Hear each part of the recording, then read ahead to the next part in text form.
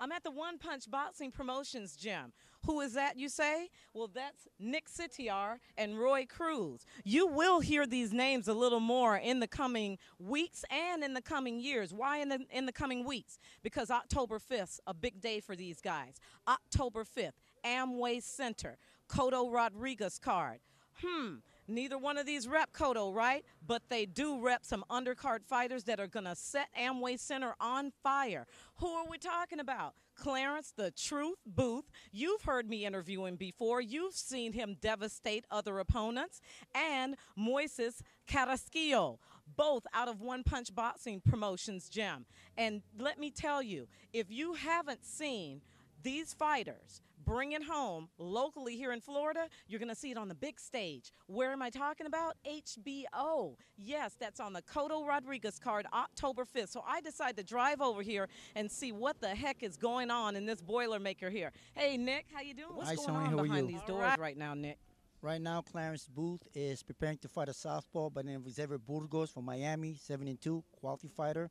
And to prepare for a quality fighter, we need quality sparring. The best southpaw, in my opinion, in Florida, not just my opinion, a lot of people's opinion, is none other than Amos Cowart. Too smooth. Um, my thing is, this guy is not as quick as Amos, not as strong as Amos, so therefore we'll be ready, we'll be prepared. And for that, I, I owe a lot of of gratitude to, uh, to uh, Roy Cruz, because he's going to get us ready.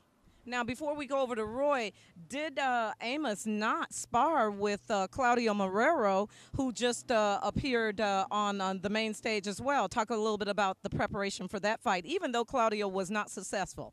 Well, that's indicative of the quality of fighter that Amos really is. He went up against a top rank rated fighter. And I think from my from what I've heard, um, Amos did a very good job. Sometimes too much sparring may be too bad because it may have a cumulative effect. Uh, it may have shown in the fight. Uh, is clearly a quality fighter. But likewise about Amos, one thing I love about this kid, if you watch him, sometimes he's a little bit too aggressive. He doesn't respect anybody's power. So if you go up against Amos, you know, you got to expect to bring it because he brings power, speed, agility.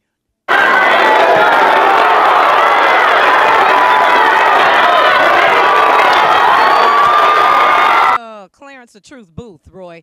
Uh, this is, man, this is a marquee fighter. If you'll uh, remember, I talked about Clarence sparring Keith Thurman prior to uh, both his Jan Zaveck wins and, uh, and the latest win on Showtime. Talk about Clarence the Truth Booth. I mean, there's not much to say about Clarence. I mean, this kid is just phenomenal. I mean, he's, I mean, he's everything in a fighter. I mean, strong.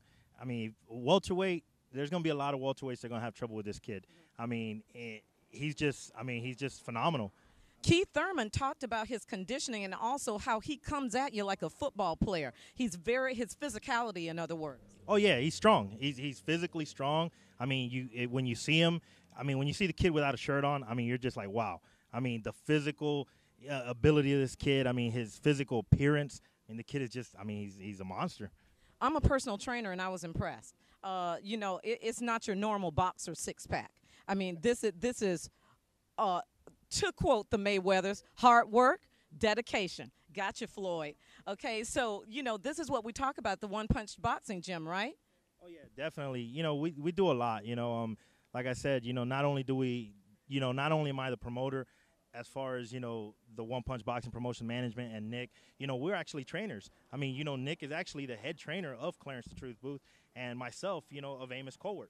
You know, and I mean, this this is what we do on a day to day basis. It's not just a part time job for us now. You know what I'm saying? It's it's continuous training with these guys, getting them prepared, getting them prepared for the big stage, like October 5th, the Delvin Rodriguez.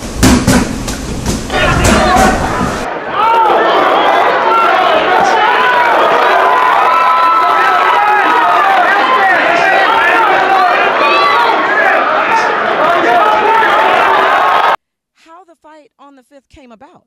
There's a lot of now I don't call you guys small time promoters, but smaller promoters. You're not a top rank, you're not a golden boy, but you are on the rise. How did you get this opportunity? Who wants to speak up on this? Well, I actually introduced myself to Brian Perez, uh, one of the uh, high-ranking officials of Cotto Promotions. Initially, my interest was just to get sparring for my fighter, Clarence Booth. We got to talking. He said, "Listen, we're from a local. We're basically from Orlando. Uh, we have a large fan base."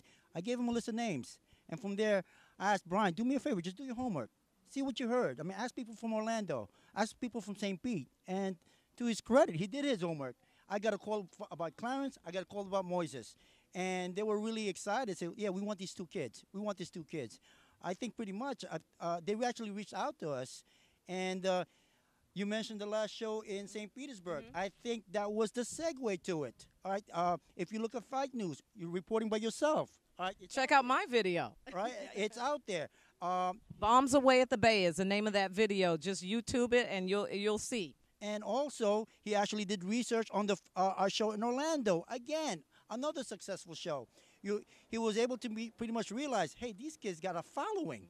All right, we don't need to advertise them, because their people are going to come to us, and it, it just made sense. Uh, I.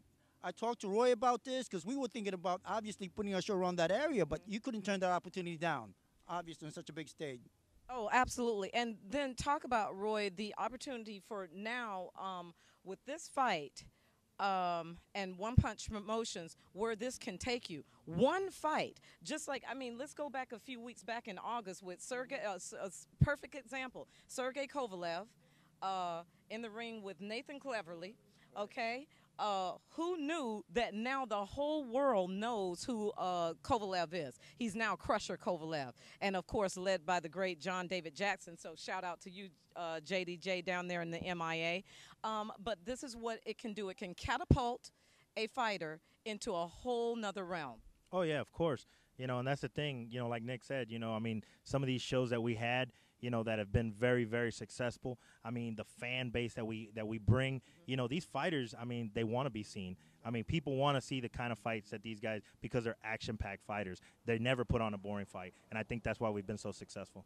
And also, it is time for uh, the boxing world to get out of the mindset that big fights can only happen in Vegas, New York City, or Atlantic City. This is going to be proving Roy grounds, One Punch Promotions and Cotto Promotions at the Amway Center for this huge card. It's going to be a big night, and what it's going to show is that Florida can sustain a healthy pro boxing community. Yes, guys? Absolutely. And right down the road, we've got Iron Mike Productions, which is now gearing up. That's true. Uh, we're collaborating with them. They know the quality of our fighters. Uh, but one thing about our fighters, which I, I love them, um, they're loyal to us.